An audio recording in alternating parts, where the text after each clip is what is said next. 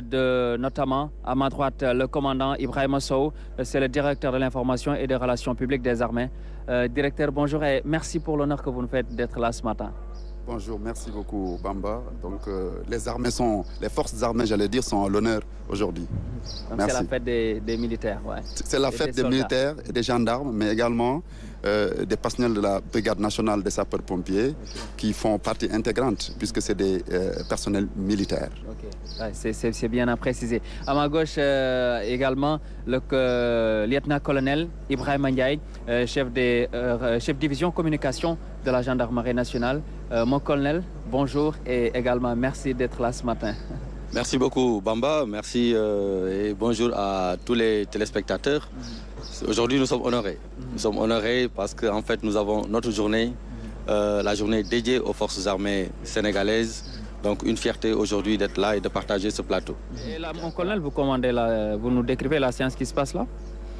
Oui, nous, nous sommes euh, en présence de l'arrivée de l'inspecteur général des forces armées euh, qui rejoint effectivement la tribune, le général Philippe Dia. Hein? C'est ça, nous assistons à l'arrivée en fait du euh, général de division Philippe Dia, qui est l'inspecteur général des forces armées et du vice-amiral Omar Wad, qui est le chef de l'état-major particulier de son Excellence Monsieur le Président de la République donc qui viennent d'arriver juste euh, à l'instant. Euh, voilà, donc ils ont été précédés par euh, les arrivées des officiers généraux. Donc vous savez, les arrivées sont rythmées de, façon protocolaire mhm. avec donc les ordres protocolaires de préséance. Mhm. et, là, après l'arrivée donc de l'inspecteur général des forces armées et celle euh, de, euh, chef, du chef d'état-major particulier du président de la République, euh, nous allons normalement assister à l'arrivée du général de division au commandant de la gendarmerie nationale et directeur de la justice militaire. Ce sont des temps forts également, les arrivées des officiers généraux également, et notamment de toutes les autorités de l'armée, mon colonel. Tout à fait, tout à fait. En fait, avec le respect un peu du processus mhm. protocolaire, hein, la préséance, donc ils vont arriver les uns après les autres jusqu'à voilà, hein, euh, l'arrivée du chef suprême des armées, le président de la République. Donc euh, tout à l'heure, euh, pratiquement tous les invités sont, sont, arrivés de manière officielle. Nous assistons maintenant à l'arrivée des autorités militaires de manière progressive. Nous assistons à l'arrivée de M. le général de division Martin Fay, au commandant de la gendarmerie et directeur de la justice militaire. Voilà, moi, je reviens sur le, sur le thème, mais, mais, je voudrais quand même raccorder mhm. le thème à la sécurité publique. Comme vous le savez, hein, euh, nous, nous, assistons aujourd'hui... Surtout face aux défis. Euh, oui, face aux défis, aux nouveaux défis sécuritaires. Nous sommes aujourd'hui face, par exemple, à la montée de la criminalité transfrontalière avec une euh, certaine dose technologique. Pratiquement, si vous revenez sur l'intensification des violences urbaines, si vous revenez sur la prolifération des cybermenaces, vous voyez que c'est des infractions aujourd'hui qui ont une certaine teneur technologique. Donc cela, effectivement, euh, justifie la reconfiguration, la reconfiguration naturellement des forces de défense et de sécurité pour pouvoir faire face. Mhm. Et cela passe par un processus extrêmement important qui prend en compte d'abord l'acquisition de moyens qui répondent naturellement, en fait, euh, qui ont du répondant pour quand même faire face à, cette, à ces nouvelles menaces. Ces dernières années, les forces de défense et de sécurité se sont équipées. Il y a une vraie montée en puissance. Une vraie hein. montée en puissance avec des équipements, des moyens, mais qui nous sont venus d'ailleurs. Et là, c'est là où euh, ce thème revêt son, son, importance en réalité. Parce qu'on se rend compte aujourd'hui mhm. que nous sommes extrêmement dépendants, dépendants de l'extérieur. Mhm. Il faut qu'on travaille des vers cette souveraineté, vers cette autonomisation en fait euh, de nos moyens. C'est-à-dire vers, vers, vers, un peu une souveraineté voilà, technologique mais aussi industrielle. On assiste à l'arrivée euh, du général euh, de corps d'armée Mbaye Sissé, qui est le chef d'état-major général des armées et qui est accueilli ici par le colonel commandant la zone militaire numéro 1. Donc, là, il va passer en revue les troupes le chef d'état-major général des armées. C'est ça, il va, il va passer en revue donc, les troupes passe en revue les troupes. Hein. C'est ça, les troupes donc, qui sont composées en fait euh, d'abord euh, euh, de la Légion Ouest de la Gendarmerie nationale, Ensuite, il y a trois compagnies. Il y a une compagnie de l'armée de terre, une compagnie de l'armée de l'air et une compagnie de la marine nationale. Nationale, ouais. D'accord, ouais.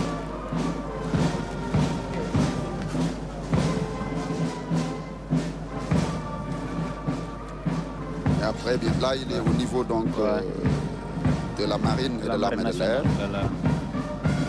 voilà. Et là, il est donc euh, suivi, comme vous pouvez le voir, par le commandant des troupes, euh, qui est donc le, col- le lieutenant-colonel Assim, qui commande le bataillon des parachutistes, et qui aujourd'hui...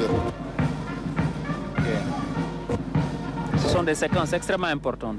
Absolument, c'est des séquences extrêmement importantes. En fait, la revue de troupes, elle est importante pour le, chef militaire. Donc, euh, lorsque euh, le chef militaire passe en revue la troupe, euh, elle perçoit, il perçoit plutôt donc, vraiment le moral, il perçoit l'obéissance, il perçoit la discipline, il perçoit l'ordre, la rectitude. Donc, et ça, ça fait partie également, ça fait une fierté, Ouais. non seulement pour la troupe, mais également pour le chef lui-même.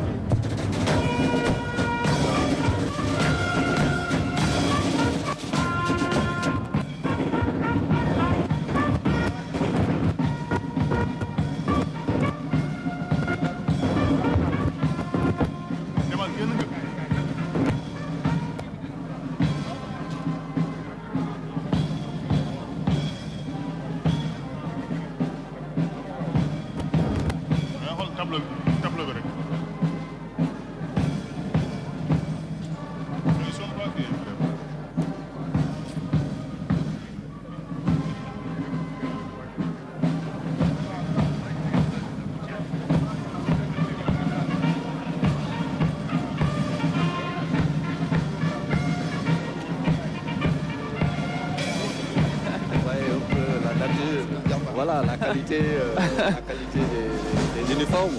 Moi, je suis issu de la 23e, 23e promotion. promotion hein, de l'Enoa. Et c'est l'actuel Semka qui, qui fut mon, mon directeur de promotion. Ah ouais Et pour vous dire par, euh, par pure coïncidence. Ah, ouais. Donc une fierté de les revoir, de voir les jeunes euh, dans, cette, euh, dans cette posture. Hein, une fierté, parce que ça je l'ai connu également, Absolument. euh, ce baptême de promotion. C'est un Absolument. moment extrêmement fort de la carrière de, l'élève officier. Ouais, d'un Tout à élève fait. officier, ouais. Voilà, là, on, on assiste à l'arrivée du grand chancelier Ouais. euh, de l'Ordre national du Lion, euh, le général euh, Ouais. qui est donc à la deuxième section. Voilà, Allez-y. Ouais, allez-y, mon- Oui, c'est le général de corps d'armée Maïsegnan, grand chancelier de l'Ordre national du Lion, euh, qui rejoint euh, la troupe. Il va d'abord saluer le drapeau et ensuite, ensuite, euh, rejoindre la tribune qui a officielle. été au commandant également. Oui, oui, oui, il a, été, euh, il a exercé les fonctions du haut commandant de la gendarmerie nationale et directeur de la justice militaire. Ouais. Et le grand chancelier de l'Ordre national du Lion. Tout à fait. Ouais. Euh, oui, euh, mon directeur, allez-y. Ouais, tout à l'heure, vous étiez sur une lancée extrêmement intéressante. Ouais. Oui, tout à fait. C'était par rapport euh, à l'importance de, cette vision pour les forces armées. Donc, euh, l'importance d'avoir une autonomie stratégique au niveau des, forces armées, on en a déjà parlé. Mais, euh, disons, la pertinence euh, de cette vision pour nous, les forces armées, c'est surtout le caractère euh, armée-nation. C'est-à-dire, c'est une vision, c'est une réalisation qui, euh, une industrie nationale de défense est une réalisation qui amène le concept armée-nation à une autre dimension. Ouais. Arrivé apparemment. Voilà, l'arrivée du- de monsieur le ministre des armées, Forces de armées. Forces Voilà. C'est donc le général euh, euh, 2S, euh, le, général de- le général aérien, le général d'armée aérienne, donc euh, euh, Biram Diop, deuxième section, ministre des Forces armées, qui arrive à l'instant. Et là, il est euh, accueilli par euh, euh, le chef d'état-major général des armées, le général de corps d'armée Mbaye Sissé, et le général de division Martin Faye, qui est le haut commandant de la gendarmerie nationale et Il passe en directeur revue de la les troupes justice. aussi. Ouais. Euh, oui, il va également passer en revue les troupes. Euh, Donc, euh, le ministre Forces armées va passer en revue les troupes, effectivement. Et, colonel? Ouais. Oui, euh, Euh, il va d'abord. que C'est tout à fait logique également. On parle de souveraineté alimentaire, de souveraineté dans tous les domaines. Et le chef d'État a pensé également que cette souveraineté doit également Doit être se élargie, prolonger doit être élargie dans les armées. Tout à fait. C'est-à-dire c'est une volonté nationale d'abord. C'est une Ouais. volonté nationale. Ouais. Parce que, co- comme vous le savez, il ne s'agit pas pour chaque démembrement étatique de chercher sa souveraineté. Ça doit être une volonté nationale. C'est ça qui peut élever et hisser le pays vers le développement en réalité. Il faut maîtriser ces outils. Il faut maîtriser le- le- l'exemple du, du Covid. Ouais. est très pertinent. Merci, mon colonel Ibrahim Ndiaye, chef de division communication de la gendarmerie nationale. Et vous le voyez, donc, nous, nous attendons l'arrivée du président de la République, euh, son Excellence Monsieur Bassirou Diomaye Faye. Euh, donc, euh, ce sera juste donc euh, sous peu de temps, vous le voyez. Donc, euh, tout le monde est là. Euh, donc à la minute près pour assister donc à l'arrivée du chef de l'État qui sera là dans quelques minutes, euh, commandant Ibrahim Sow. Donc il ne reste plus que l'arrivée du fait, président tout- de la République, son Excellence. Bassirou Donc, arrivée est prévue à 10 heures précises. Voilà. C'est euh, le moment aussi de montrer le caractère extrêmement rigoureux Mhm. des horaires, du protocole militaire, parce que chaque arrivée donc, est euh, bien suivie, bien chronométrée, bien calée. Euh, et pour chaque autorité qui arrive, il y a euh, soit une revue à faire, euh, ou bien c'est une autorité qui vient juste s'incliner devant le drapeau avant de rejoindre la tribune. Les autorités qui doivent l'accueillir sont clairement définies. Donc ça montre vraiment la, rectitude Et là, et, et la rigueur euh, du cérémonial euh, militaire. Euh, donc là, on voit les, Ouais, les, les motards là. les motards qui arrivent. Et euh, euh, donc le président de la République va bientôt donc entrer voilà. à l'état-major général des armées, De le la- quartier Dial Diop. Donc on voit son véhicule qui franchit. Ouais, Donc vraiment le, le quartier euh, général Dial Diop. Et il faut dire Ouais. que c'est la première fois que Monsieur le Président de la République, Bassirou Diomaye Faye, est accueilli ici, Ouais, ici, ouais. au quartier général euh, euh, du qui est chargé de symboles. Chargé de symboles. Tout à fait symbole. Il, il a été à l'Institut devant Sénégal, Ouais. mais euh, euh, c'est la première fois qu'il arrive au, quartier Dial Diop. Et c'est un honneur un pour euh, ouais. les armées et pour les forces armées sénégalaises. Voilà, et là, nous assistons donc sous peu de temps. Voilà, le président de la République, son Excellence M. Bassirou Diomaye Faye, accueilli par le ministre des Forces armées, euh, le général euh, donc, euh, Biram Diop. Oui, le ministre des Forces armées, il est accueilli également par le chef d'état-major général des armées et le haut commandant de la gendarmerie nationale. Et tout à l'heure, il va procéder euh, à la revue des troupes, accompagné effectivement des autorités militaires euh, que sont le chef d'état-major général des armées et le haut commandant de la gendarmerie nationale. Voilà, et voici donc euh, son Excellence M. Bassirou Diomaye Faye. Nous laissons la cérémonie protocolaire. hein. Euh, tout à fait. Donc là, il va passer la revue. Nous- nous- nous- il va aller s'incliner devant- devant l'exécution de l'hymne. Et euh, après, il va passer en revue la troupe.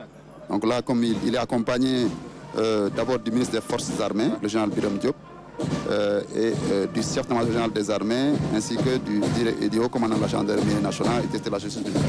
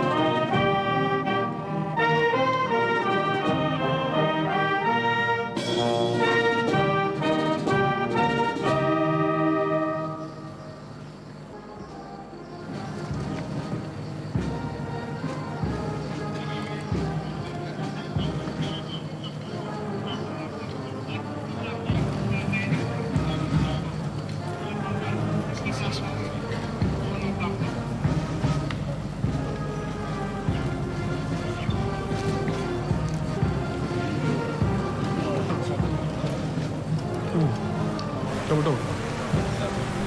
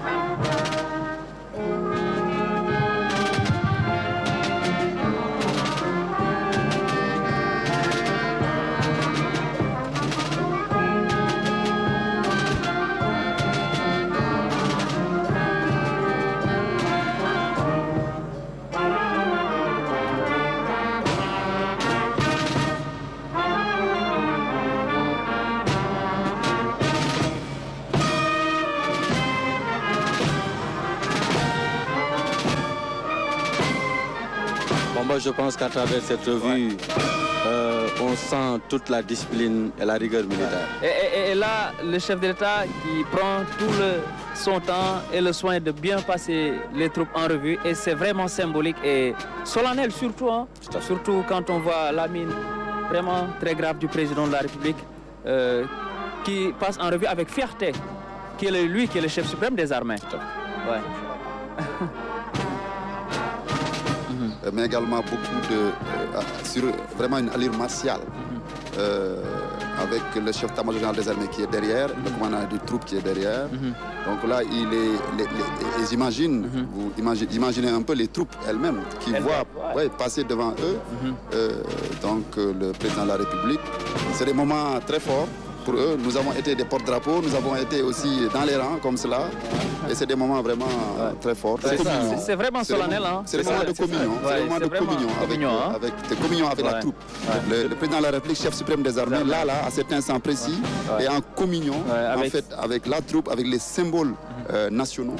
Et là, il euh, passe les les drapeaux, écoles. euh, passe les, les- les écoles. Donc vraiment, c'est euh, c'est la casquette du chef suprême des armées Et- et- et euh, voilà. qui est là. C'est l'expression de la République. L'expression de la République. Hein. L'expression de Ouais. la République, la solennité. La solennité. Regardez euh, les drapeaux hein, qui saluent le La passage. revue des troupes de Jean- euh, du chef de l'État, elle est vraiment belle hein, ce matin. Très belle. C'est une très belle revue de troupes. Très belle. Ouais. Vraiment en phase avec, euh, Elle est- il est en phase. Hein. en phase avec les forces de défense et de sécurité. Ouais. Là, là, vous voyez, il passe devant les écoles, les deux promotions à, à- à- à baptiser. C'est c'est vraiment beaucoup de. Il y, a- il y a une forte, il y a une puissance dans cette, euh, dans cette revue, dans, dans ce mouvement. Ça, ça dégage euh, vraiment beaucoup de valeurs.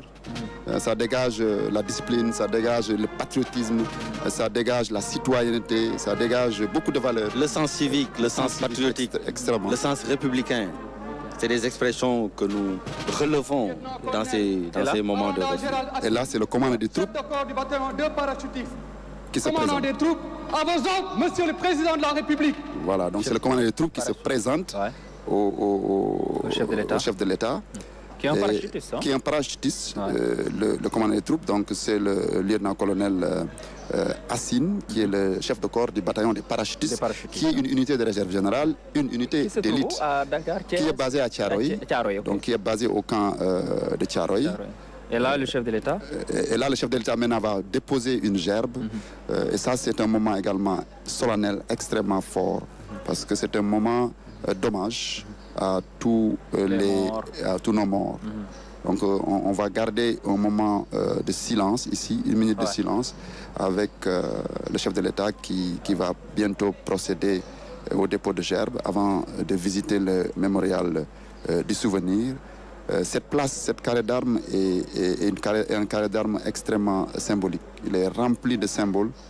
Vous voyez les, les- les drapeaux, les étendards qui flottent actuellement euh, sur cette place où on a eu à euh, recevoir des héros, donc euh, des armées qui, qui ont reçu des honneurs ici, ici même, tue, devant la devise nationale, on nous tue, on ne nous déshonore pas. Donc le chef de l'État qui Ouais, se recueille ouais. euh, et derrière ce recueillement, il y a l'esprit de sacrifice, tout le sacrifice Consenti. de nos voyants djambars Ouais, Tombé au champ. tombés au champ d'honneur. Ouais, Ça, c'est la sonnerie au mort. hein? Assez- Oui, ça c'est la sonnerie au mort, exactement. Nous écoutons.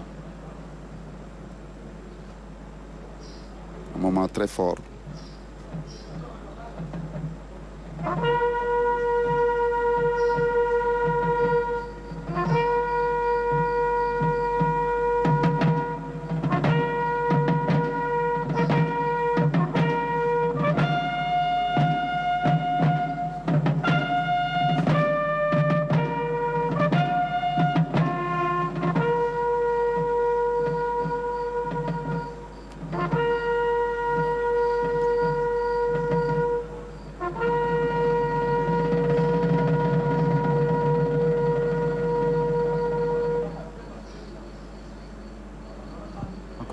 Ouais. Oui, on sent cette euh, solennité euh, due euh, vraiment au respect à nos valeurs disparues.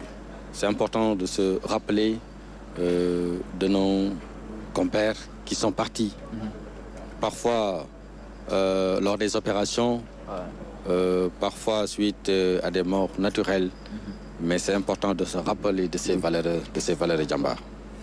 Voilà, là, là, le président est en train euh, de euh, visiter euh, le mémorial du souvenir. C'est-à-dire, vous avez ici, derrière lui, tous ces noms qui sont gravés sur du marbre.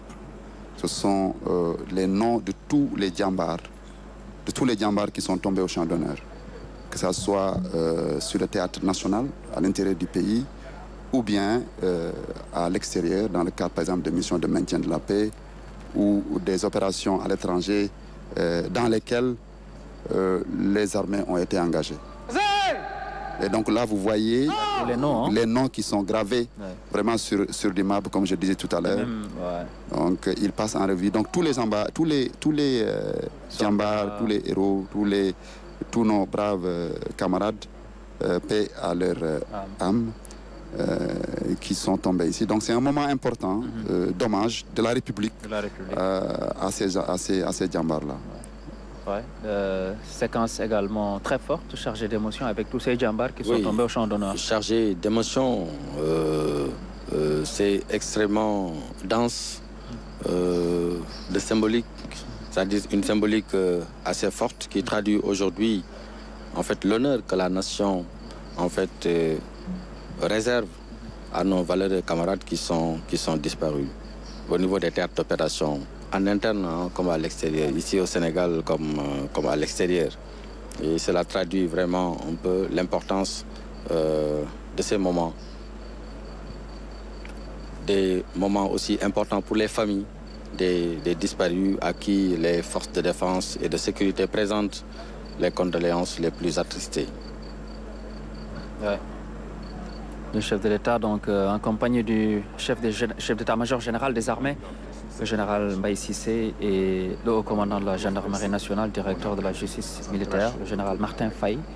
Ouais, donc, euh, avec tous ces dons de ces soldats tombés au champ d'honneur, comme l'a dit le colonel Ibrahim Ndiaye, que ce soit lieutenant-colonel Ibrahim que ce soit dans les opérations de maintien de la paix, internes comme externes, les OPEX, notamment au champ d'honneur également. Des moments très importants, surtout pour la vie des familles également, qui Tout voient cette reconnaissance du chef suprême des armées. Tout à fait, c'est un moment important, mais c'est surtout important pour également, parce que ça, ce sont effectivement les, ceux qui sont disparus, qui ont laissé des familles derrière, des veuves, Euh, mais il y a d'autres qui ne sont pas morts, qui sont euh, blessés aujourd'hui euh, en opération et qui reçoivent bien entendu toute l'attention qu'ils méritent de la part de la République. D'ailleurs, actuellement, nous sommes euh, dans une campagne nationale de solidarité au profit justement de ces euh, blessés euh, en opération. Et, c'est des moments qui montrent justement l'importance de ces campagnes de solidarité-là pour que vraiment les, les populations puissent se l'approprier et savoir que donc c'est tout un esprit de sacrifice donc, qui, est, qui, est, qui est derrière. Et surtout, il y a cette dimension même humaine euh, du ministre des Forces armées et même du chef d'état-major général. On l'a vu pendant la Tabaski offrir beaucoup de moutons. Oui, beaucoup d'actions, beaucoup d'actions, beaucoup d'activités euh, pour accompagner les familles euh, des militaires. Et c'est extrêmement important. Ça montre juste la reconnaissance de la nation, en fait, vis-à-vis non seulement des disparus, mais, mais, mais des personnes en activité. Euh, ouais. En penser au bien-être euh, des personnels, euh, je pense que c'est Ouais, extrêmement de important parce travail, qu'en fait, ça ça. encourage, ça renforce un peu le moral des troupes. Absolument. Ça montre que les autorités pensent Ouais. aux, aux- aux membres des forces de défense et de sécurité. Ouais, c'est- vrai. Et là, le chef d'État se diri- diri- dirige maintenant vers la tribune Voilà, il présidentielle. va, donc il se tribune vers la tribune présidentielle pour qu'on puisse assister en fait euh, à la projection du film. D'abord, il, va recevoir le mot de bienvenue. Euh, ensuite, euh, il va, euh, on va projeter le film qui illustre euh, le thème de cette édition, qui est donc vers la souveraineté technologique et industrielle euh, euh, des forces armées. Et euh, voilà, donc là, il est installé et euh, on va euh, très bientôt euh, écouter le maître de cérémonie, voilà, qui va donc lui souhaiter euh, la bienvenue avec le mot de bienvenue. Et ensuite, euh, euh, on va projeter le film. Voilà. Le commandant Ibrahim Sow, directeur de l'information des relations publiques des armées, qui est avec nous ce matin également. Le lieutenant-colonel, mon colonel, donc Ibrahim Ndiaye, chef division communication de la gendarmerie nationale. Donc, euh, dans quelques instants, le maître de cérémonie va prendre le relais pour également revenir sur notamment la cérémonie qui va se dérouler avec la présidence du chef, sous la présidence du chef de l'État, comme vous le voyez ici, son Excellence M. Bassirou Jamaï Faye, chef suprême des armées, avec ses différents temps forts que vous avez vécu juste à son arrivée, des pots de gerbe. tout d'abord, la revue des troupes, cette très belle revue des troupes du chef de l'État ce matin en communion avec les armées, fiers notamment d'être debout ce matin devant le chef de l'État. Cérémonie de dépôt de gerbes aux fleurs, euh, de dépôt, cérémonie de dépôt de gerbes de fleurs, notamment au monument des morts, avant notamment de voir les disparus. Et maintenant, on laisse le maître de cérémonie. Je suis l'adjudant Dominique Mendy de la direction de l'information et des relations publiques des armes. J'ai le privilège et l'insigne honneur de faire le commentaire de cette cérémonie. Excellence, Monsieur le Président de la République, les forces armées vous souhaitent la bienvenue au quartier Djaljob. Elles vous remercient de leur faire l'insigne honneur de présider cette cérémonie marquant la 21e édition de la journée des forces armées. Les unités qui viennent de rendre les honneurs sont placées sous le commandement du lieutenant-colonel Aranda Gérald Assine, chef de corps du bataillon de parachutistes. Elles sont ainsi composées du bataillon de la musique des forces armées, du drapeau de la Légion de la garde présidentielle,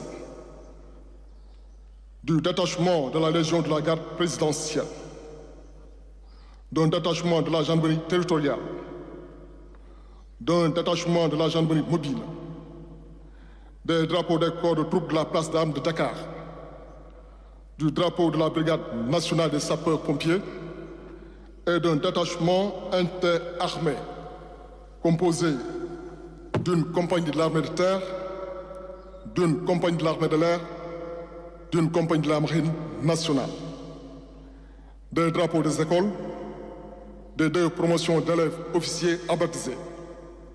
Enfin, des drapeaux des anciens combattants et victimes de guerre.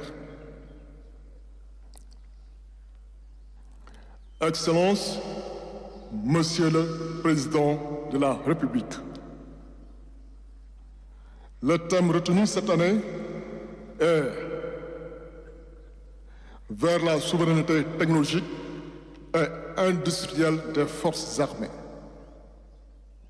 À présent, nous vous proposons un film d'une durée de 12 minutes illustrant le thème.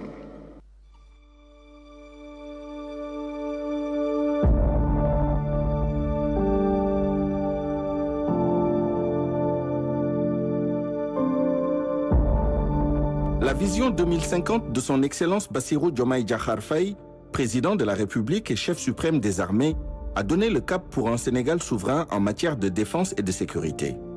En 2050, le Sénégal aura renforcé son dispositif sécuritaire de prévention et d'appréhension des menaces traditionnelles et émergentes, internes et externes, et garantit ainsi l'ordre public et la paix sociale.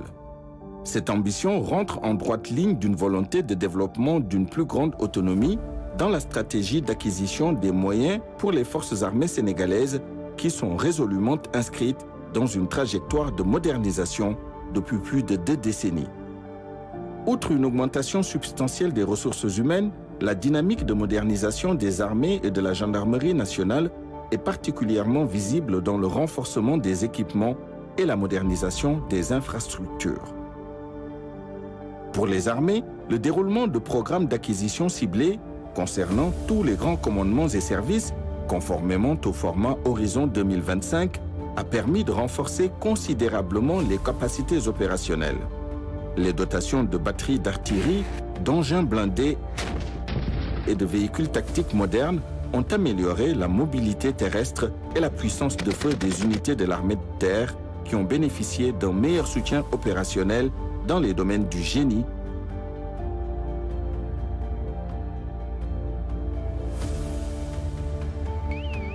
de la santé, des transmissions et de l'intendance. L'armée de l'air a aussi étoffé son parc aérien avec l'acquisition de plusieurs aéronefs de transport, de chasse et de patrouilles maritimes, grâce à la création de nouvelles bases aériennes et le déploiement de radars primaires, elle a renforcé sa maîtrise de l'espace aérien national. La Marine nationale a connu un renouvellement important de sa flotte avec l'acquisition de patrouilleurs modernes lui permettant de mieux assurer son rôle de bras armé de l'État en mer et de se positionner parmi les marines leaders de la région. Pour la gendarmerie nationale, la montée en puissance s'est traduite par l'augmentation des effectifs et la densification du maillage territorial avec la création de 29 escadrons de surveillance et d'intervention, le relèvement des escadrons de la Légion de gendarmerie d'intervention ainsi que la mise sur pied de deux groupes d'action rapide de surveillance et d'intervention, GARCI, au niveau des frontières. Ce dispositif est complété par la création de plusieurs unités territoriales et de proximité pour apporter une meilleure réponse aux exigences sécuritaires. Globalement, le développement capacitaire des forces armées sénégalaises ces 20 dernières années s'est traduit par des performances opérationnelles remarquables, aussi bien à l'intérieur du territoire national que dans les théâtres extérieurs. Toutefois, le caractère changeant et imprévisible de l'environnement sécuritaire régional et international exige une anticipation et une adaptation permanente en termes de posture et de capacités opérationnelles. La réponse à ces menaces nécessite de relever les défis liés à la dépendance aux chaînes d'approvisionnement étrangères, d'où l'importance pour les forces armées de développer une autonomie stratégique à travers une industrie nationale de défense. Sans industrie souveraine de défense, nous ne pouvons garantir notre liberté de choix et d'action. J'invite donc, le ministère des, Forces, armées, en relation avec les départements de la recherche scientifique et de l'industrie, à bâtir rapidement des cadres de coopération nécessaires pour développer des capacités endogènes de production des équipements de défense dont nous avons besoin. Pour concrétiser cette vision, les forces armées peuvent s'appuyer sur une architecture institutionnelle qui mettra en synergie leurs besoins avec les capacités technologiques et industrielles nationales afin de réduire la dépendance étrangère en expertise et en approvisionnement en matière de défense et de sécurité. L'autonomie stratégique offre plusieurs avantages. Déjà en termes de planification et de prévisibilité, puisque un outil de défense est crédible lorsqu'il sait planifier dans le long terme, lorsqu'il sait sortir des urgences et lorsqu'il a un horizon bien maîtrisé en termes d'approvisionnement, en termes d'équipement et surtout en termes de maintenance. Le modèle que nous voulons, c'est un modèle donc, qui s'appuie sur l'existant, mais qui est contrôlé, puisque nous sommes dans le domaine de la défense, par l'État qui est ouvert aux universitaires et chercheurs, aux ingénieurs militaires, aux capitaux du secteur privé, mais qui peut aussi s'ouvrir, puisque nous, nous, sommes dans, dans un domaine très exigeant, aux partenariats stratégiques. La politique d'acquisition des forces armées pourrait ainsi favoriser l'approvisionnement endogène, surtout pour des biens et services produits localement améliorant ainsi l'environnement de soutien des unités des forces de défense et de sécurité. Par exemple, la conception et la confection d'équipements ou de matériel d'usage routinier du domaine de l'intendance, tels que l'habillement, le couchage et le campement, pourraient faire l'objet de production nationale. Les atouts de l'armée de terre résident dans le fait que les technologies qui l'intéressent sont à notre portée. En outre, elle dispose de ressources humaines de qualité et d'un cadre pouvant servir de laboratoire d'expérimentation de nouveaux équipements. Enfin, ces besoins ont atteint le niveau critique exigé par certains partenaires pour des transferts de technologie. De même, certaines industries comme la fabrication de munitions, d'armements légers et de montage automobile sont immédiatement accessibles à l'expertise nationale dans un cadre de partenariat favorisant le transfert de technologies. Sur ce point précis, les projets de mise en place d'usines de montage de camions et de véhicules tactiques sont déjà initiés. Il est aujourd'hui consensuel que les processus d'endogénéisation technologique requièrent que les investissements dans la formation, la recherche et le développement soient appuyés par des politiques publiques fortes et incitatrices pour permettre la naissance de structures capables d'assumer les fonctions de transfert de connaissances et d'appropriation technologique. En effet, le lancement du premier satellite national Gaïndé Sat 1 a montré le potentiel technologique et industriel du génie sénégalais. En s'appuyant sur le réseau de centres de formation et de recherche, civils et militaires, et des partenariats ciblés, notre pays peut, à moyen et long terme, disposer d'une industrie de défense capable de satisfaire les besoins plus pointus comme la maintenance aéronautique et navale, la protection nucléaire, biologique et chimique, couverte par la Brigade nationale des sapeurs-pompiers, les domaines de la robotique, de l'informatique et de la cyberdéfense. C'est tout le sens de la création, en 2020, du Centre de recherche et de technologie au sein de l'école de l'armée de l'air, CISA. Les atouts de l'armée de l'air se reposent essentiellement sur son expertise, son expérience et son capital humain. L'armée de l'air dispose d'un personnel hautement qualifié avec une formation continue de haut niveau. L'air dispose également d'une forte culture d'innovation. Vous savez, l'aéronautique militaire est un domaine dans lequel l'information est comme une denrée périssable, d'où la culture développée d'une mise à jour permanente des connaissances et des procédures. Aujourd'hui, le lancement du centre de recherche de l'école de l'armée de l'air à Thiès, en coopération avec l'école polytechnique de Thiès, constitue un embryon du développement industriel. Pour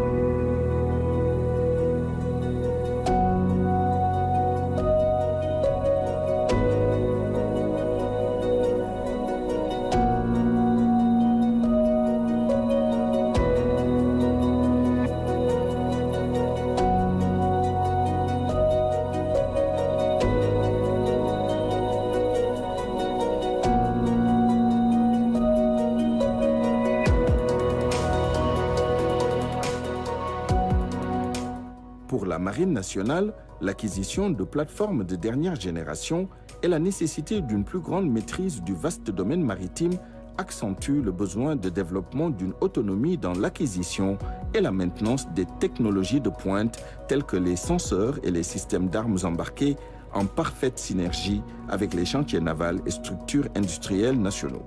La Marine nationale est dans une euh, phase de révolution des affaires militaires et que cette phase nous impose cette nécessité de nous approprier de nouveaux systèmes d'armes. La réponse à cela est une prise de conscience totale dans le cadre, bien sûr, de la souveraineté industrielle et technologique. Pour la gendarmerie nationale, la quête de souveraineté technologique et industrielle constitue la réponse cruciale aux défis complexes auxquels le Sénégal est confronté. Qu'il s'agisse de la surveillance générale du territoire, de la protection des institutions, des personnes et des biens, de la lutte contre l'insécurité routière, de l'orpaillage illégal, de l'immigration clandestine, du faux monnayage ou encore de la délinquance économique et financière, cette souveraineté permettrait à la gendarmerie de disposer des moyens technologiques nécessaires pour mieux anticiper, surveiller et contrer ces menaces. Pour l'acquisition d'autonomie, on retiendra qu'une industrie locale autonome permettrait de disposer de, des moyens nécessaires pour agir sans discontinuité ni dépendance au profit de la sécurité publique par la fabrication d'armements, d'outillages et d'équipements de protection comme le matériel de maintien de l'ordre, par exemple. Les partenariats stratégiques, les échanges de procédés technologiques et le transfert sont des débuts de solutions pour assurer cette transition. Au-delà de la recherche d'une plus grande autonomie stratégique, le développement d'une véritable industrie nationale de défense constitue, de fait, une réelle opportunité pour un secteur clé dans la création d'emplois, la production d'équipements à usage civil et le soutien à l'exportation indispensable au développement économique et social de notre pays.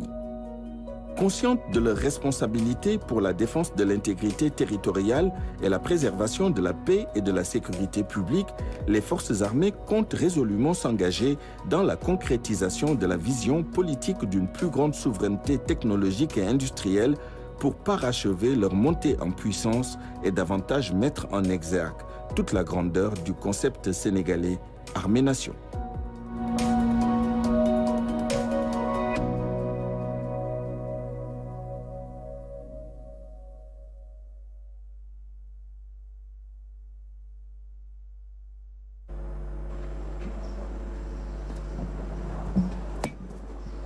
Donc. euh, Mesdames,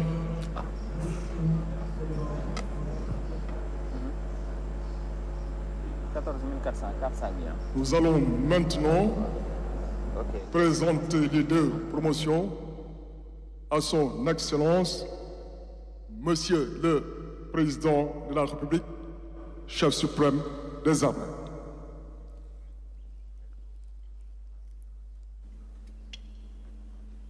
Pour l'ensemble,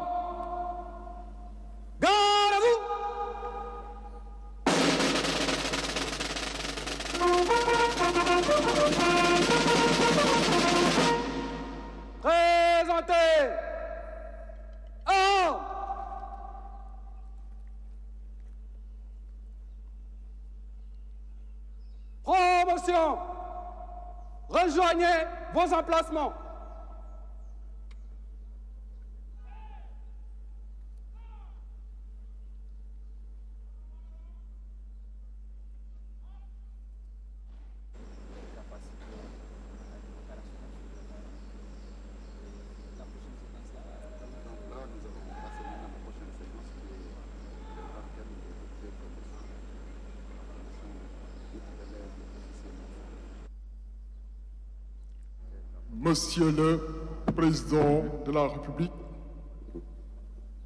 sont présentes devant vous les deux promotions à l'honneur. À votre gauche, la 56e promotion de l'école militaire de santé. La sixième génération de 300 est composée d'élèves officiers recrutés le 1er septembre 2023 à la suite d'un concours national très sélectif ayant compté 1808 candidats. Cette promotion est forte de 34 élèves officiers parmi lesquels 13 personnels féminins. Elle compte aussi en son sein quatre ressortissants de pays amis, notamment le Burkina Faso, le Cameroun, le Congo et le Tchad. Les élèves sont répartis par section de formation avec 29 en médecine, 4 en chirurgie dentaire et 1 en pharmacie.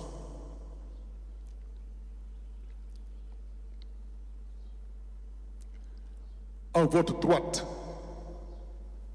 la 43e promotion de l'École nationale des officiers actifs de Thiès mixte de par son recrutement et sa composition. Elle est constituée de 104 élèves officiers, dont 7 personnels féminins.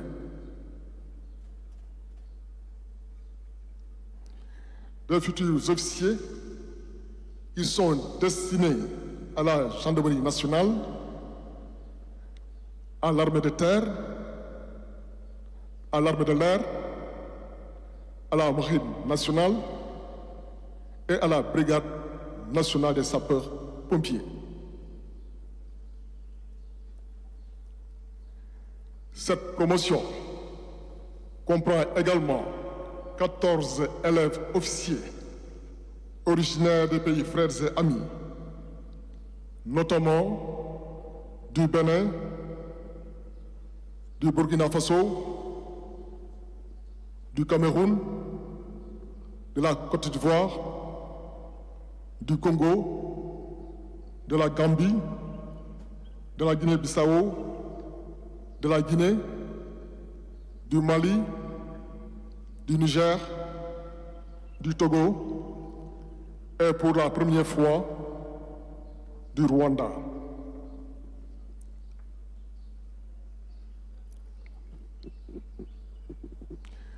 Excellence, Monsieur le Président de la République. Quel nom donnez-vous à la 56e promotion de l'école militaire de santé et à la 43e promotion de l'école nationale des officiers d'active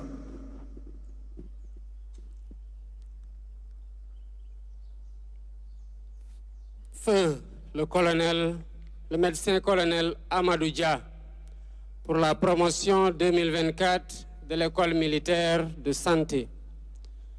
Feu le général de division Saliou Ndiaye pour la 43e promotion de l'école nationale des officiers d'active.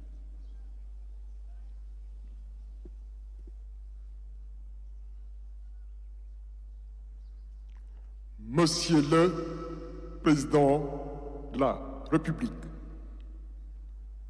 la promotion d'élèves officiers, feu médecin colonel Amadou Dia et la promotion d'élèves officiers d'active, feu général de division Saliou Ndiaye vont maintenant prêter serment.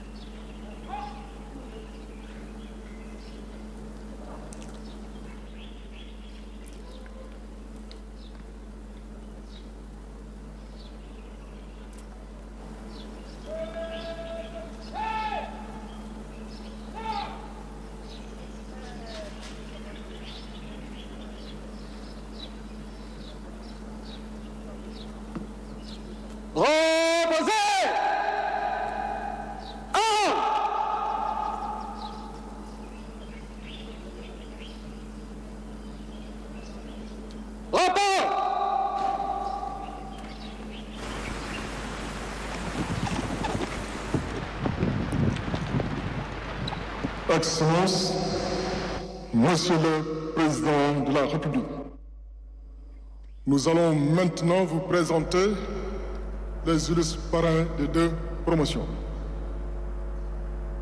La 56e promotion de l'école militaire de santé porte désormais le nom de feu le médecin colonel Amadou Dia. Le médecin colonel Amadou Dia est né en 1939 à Kolda. En 1962, il rejoint l'école de santé navale de Bordeaux en France.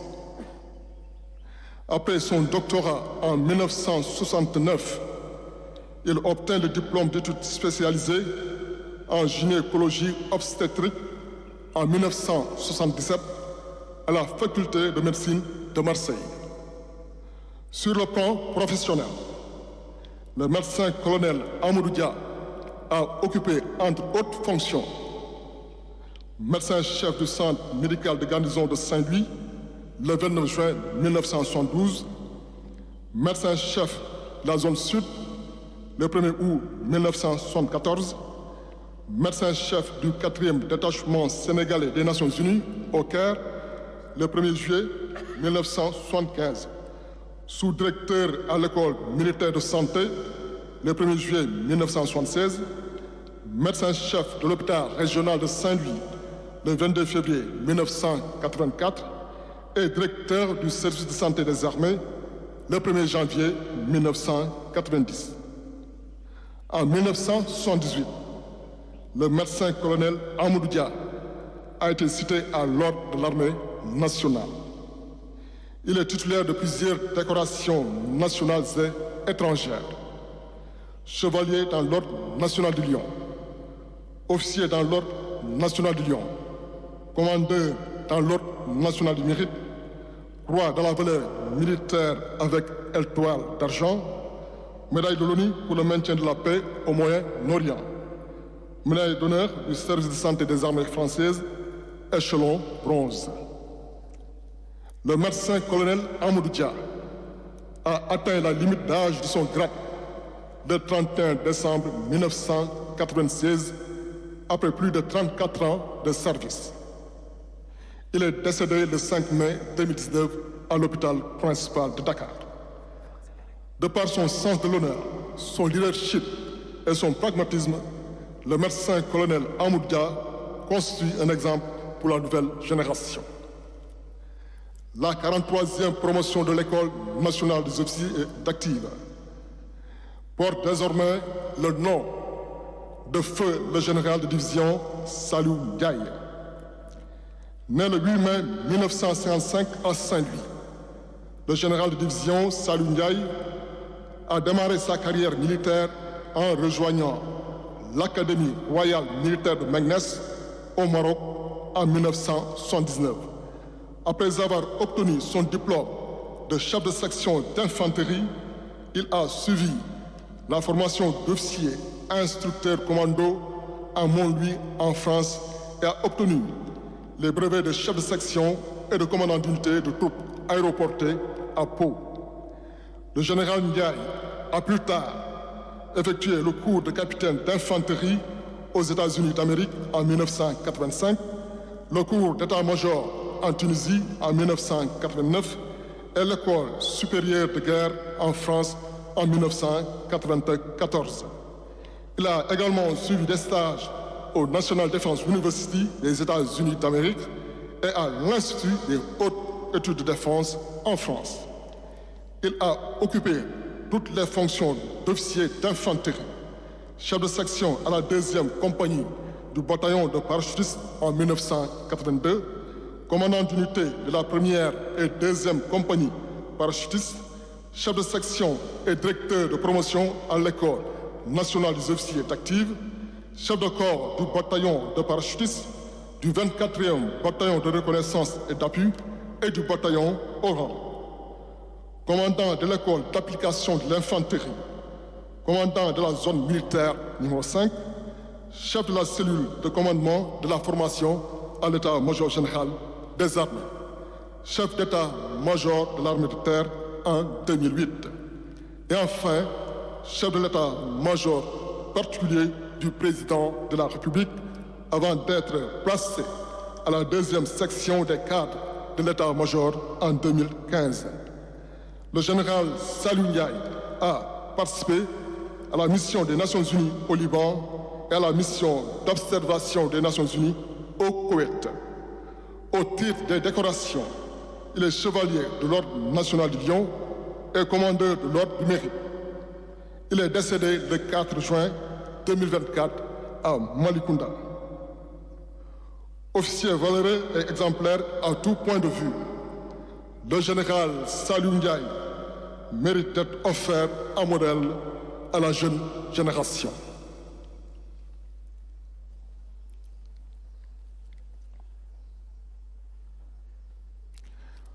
Honorables invités, Mesdames, Messieurs, à présent, nous invitons très respectueusement Son Excellence, Monsieur Bassirou Diomaye Diakhar Faye, président de la République, chef suprême des armées, à bien vouloir prononcer son allocution. Garde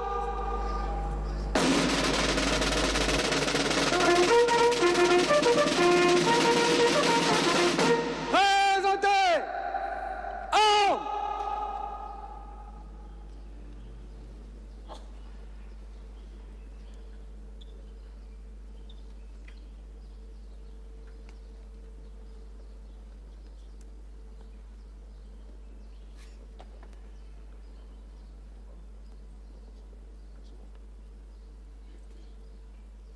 Portez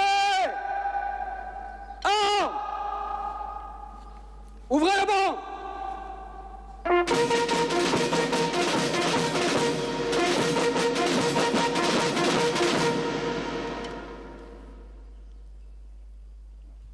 Monsieur le ministre des Forces armées, Mesdames, Messieurs les ministres, Mesdames, Messieurs les membres du corps diplomatique, Monsieur le gouverneur de la région de Dakar, Monsieur le général de corps d'armée, grand chancelier de l'Ordre national du Lion, Monsieur le général de corps d'armée, chef d'état-major général des armées, Monsieur le général de division, haut commandant de la gendarmerie et directeur de la justice militaire, Mesdames, Messieurs les officiers généraux, chers grands anciens, officiers, sous-officiers et militaires du rang, personnel civil des forces armées, chères familles de parrains, distingués invités.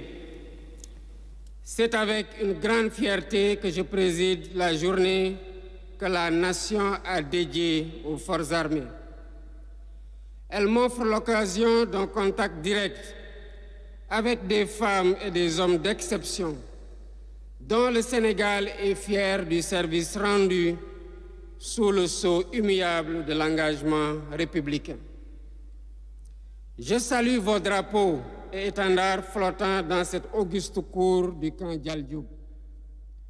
Témoins de tant de sacrifices consentis au service de la nation, ils traduisent l'esprit de corps et la cohésion des formations composant notre bel outil de défense nationale. En ce moment solennel, nos pensées vont avant tout à l'endroit des jambars tombés sur le champ du devoir. Comme tout à l'heure lors de la sonnerie aux morts, je m'incline pieusement devant leur mémoire.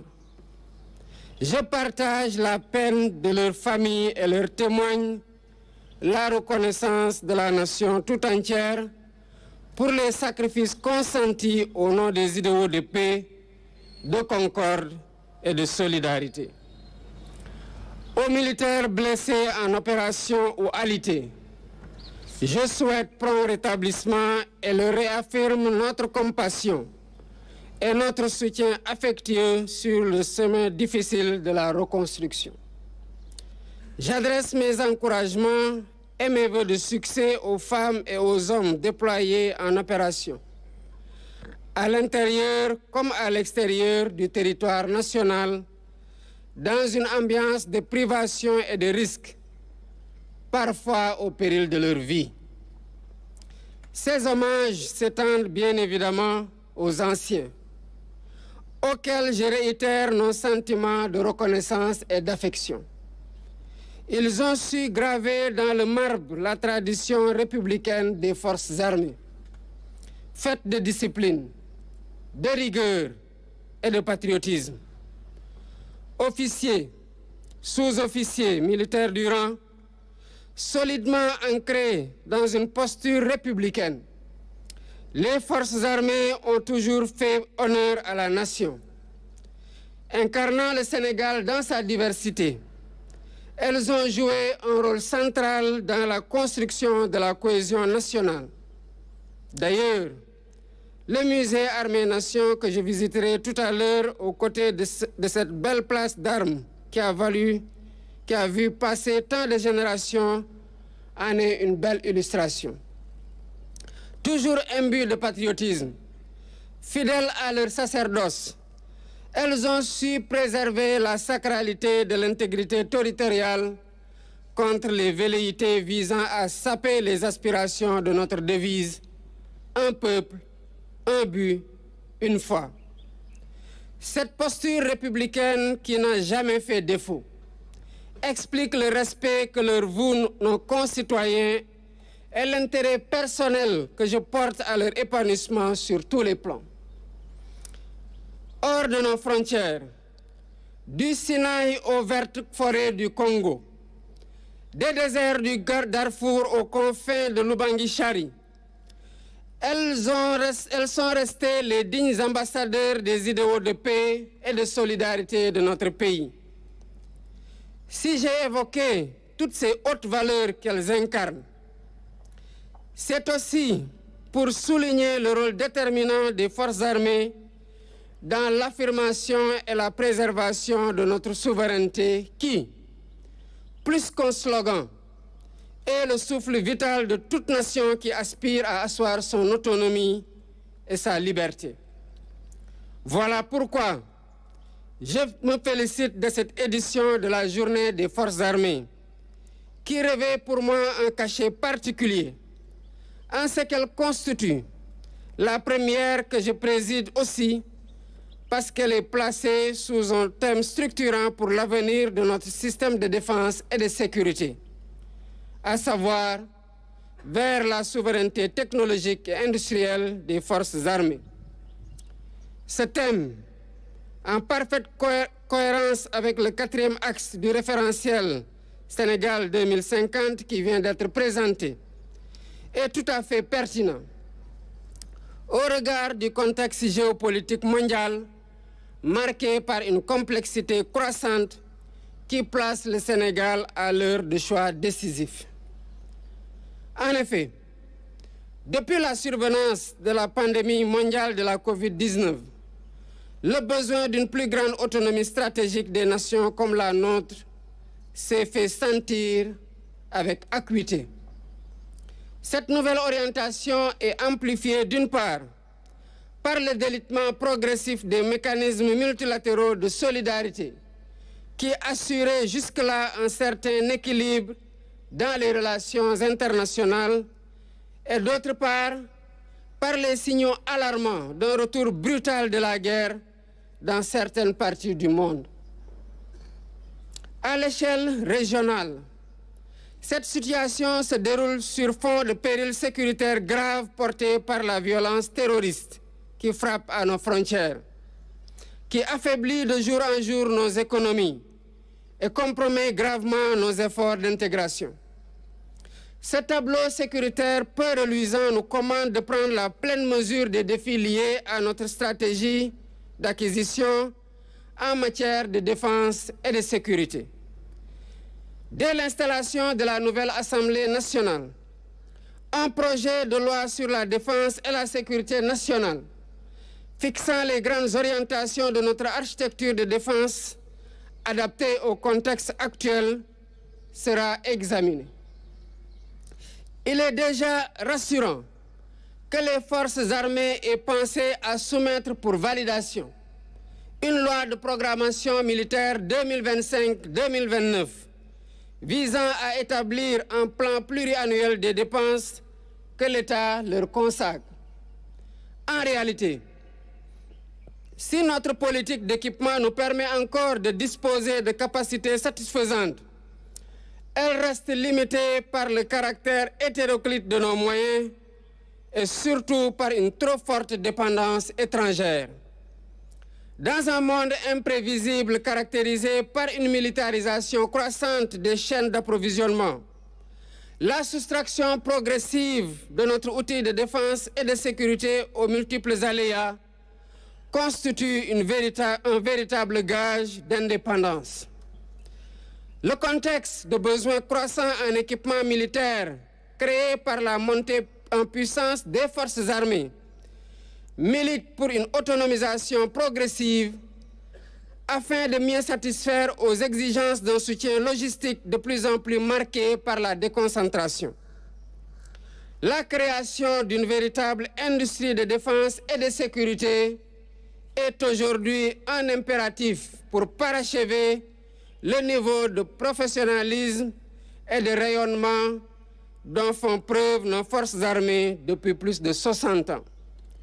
Il nous faut donc changer de paradigme pour asseoir nos politiques sur des fondements solides et durables à même de nous assurer autonomie et résilience. À cet effet, tout en restant ouverts aux opportunités extérieures, il nous faudra exploiter et mettre en exergue nos capacités endogènes.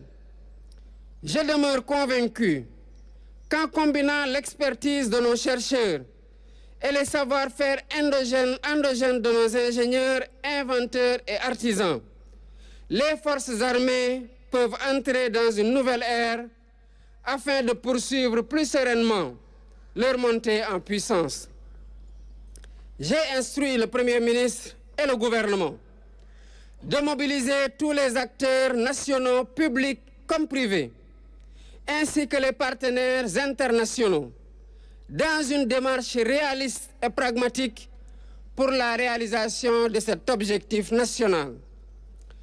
L'évolution du monde académique, le resserrement des liens entre les différents acteurs et le changement de culture constituent des pistes à développer.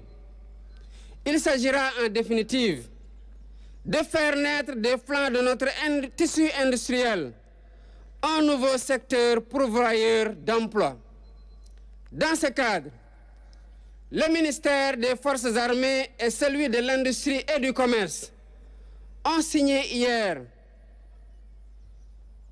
un important protocole d'accord avec une société partenaire pour la mise en œuvre d'un projet d'installation et d'exploitation d'une usine d'assemblage de véhicules militaires au Sénégal.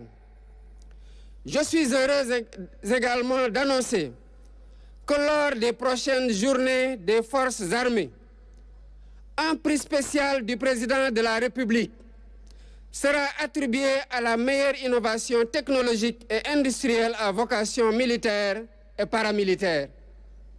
Officiers, sous-officiers, militaires du rang, le 10 novembre 1960, les armées recevaient le premier drapeau de l'histoire du Sénégal indépendant.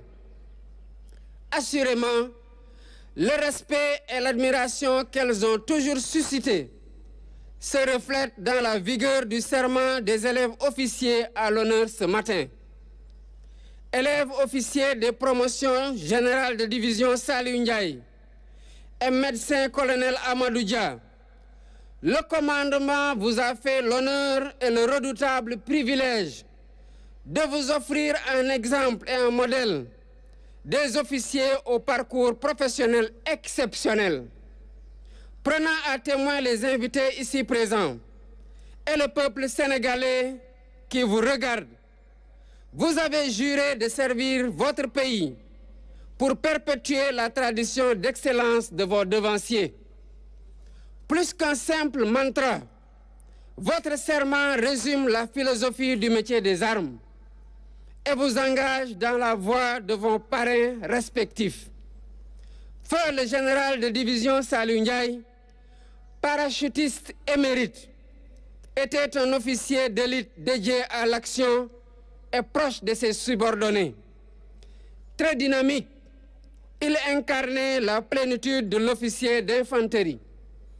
Quant à Feu, le médecin-colonel Amadou Dia, il était un praticien dévoué, ayant entièrement consacré ses brillantes compétences au système de santé des armées et du Sénégal.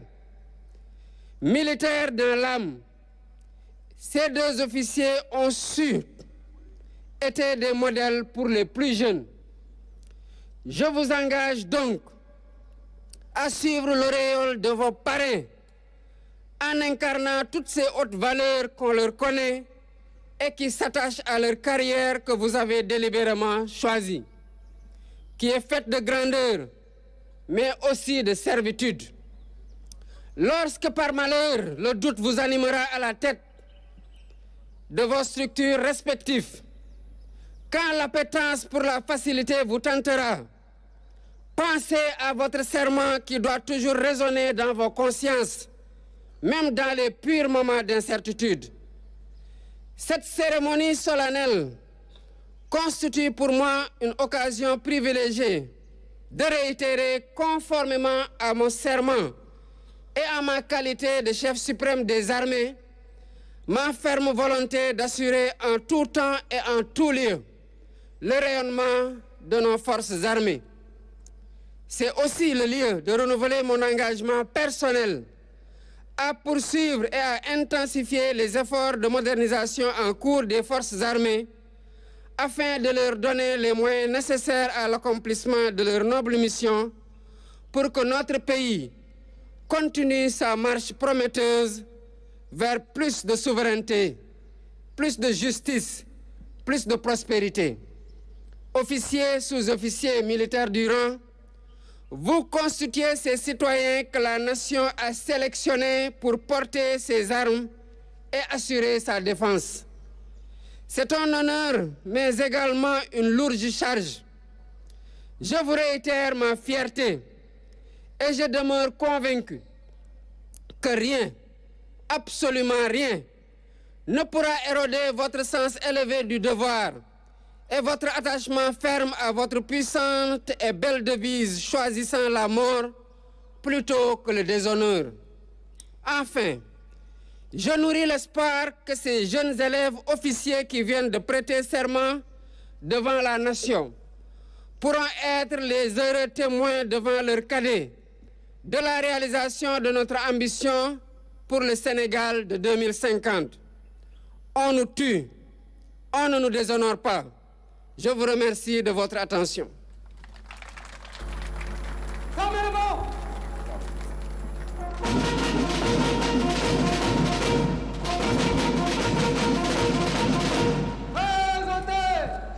Voilà, donc vous venez euh, de suivre le discours du président de la République, son Excellence M. Bassir Diomaye Faye, ici à l'état-major euh, des armées. De grands accents de ce discours, loi de programmation euh, 2025-2029, également un prix spécial, également une autre loi qui est juste dès l'installation de l'Assemblée nationale. Et je donne la parole à commandant. Vous pouvez revenir notamment sur ces deux grands aspects, le prix spécial et notamment la loi de programmation budgétaire. Tout à fait. Donc vraiment un discours très poignant. Euh, qui est d'abord revenu sur euh, euh, le symbole, les valeurs. Il, il s'est incliné encore une fois devant la mémoire des, des victimes. il a demandé aux, élèves, aux jeunes élèves officiers d'être dignes de leurs parrains. Hein. Il est revenu sur la valeur de ces, de ces parrains-là qu'il a lui-même choisi lors de la cérémonie de baptême. Maintenant, dans son discours aussi, on peut noter vraiment trois grandes décisions importantes, j'allais dire.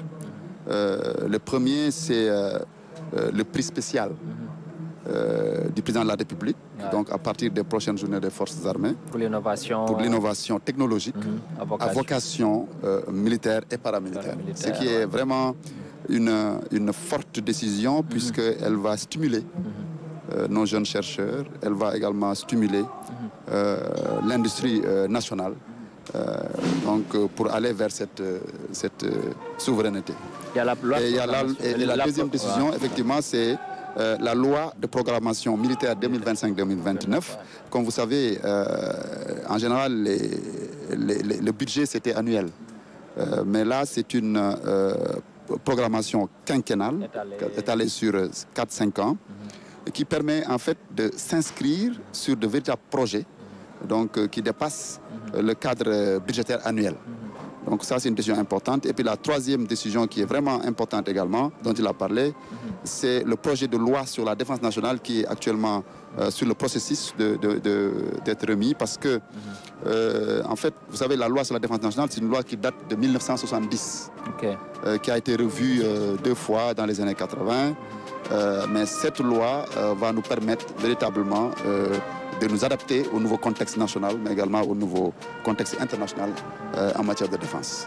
Donc ça, c'est vraiment trois décisions, je pense, euh, importantes qui sortent euh, de, ce, de, ce, discours sur la réalité du moment. Merci beaucoup, lieutenant-colonel Ibrahim Ndiaye, chef division communication de la gendarmerie nationale. Ça a été un plaisir ce matin également. Le plaisir est partagé. Voilà, tout comme au directeur de, de, de l'information et des relations publiques des armées, DIRPA également, le commandant Maguette Ibrahim Sow également. C'était un plaisir ce matin. Merci à vous, merci à la RTS. Et merci à tous les téléspectateurs qui nous ont suivis.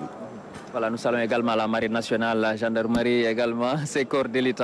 Voilà, mesdames et messieurs, donc merci de nous avoir suivis ce matin, donc euh, depuis euh, tout à l'heure, donc avec l'arrivée du président de la République, son Excellence Monsieur Bassirou Diomaye Faye, vous avez suivi donc euh, cette très belle cérémonie de ce matin de la journée des forces armées ici à l'état-major des armées sénégalaises. Merci de votre fidélité et restez donc en compagnie de nos programmes. Merci.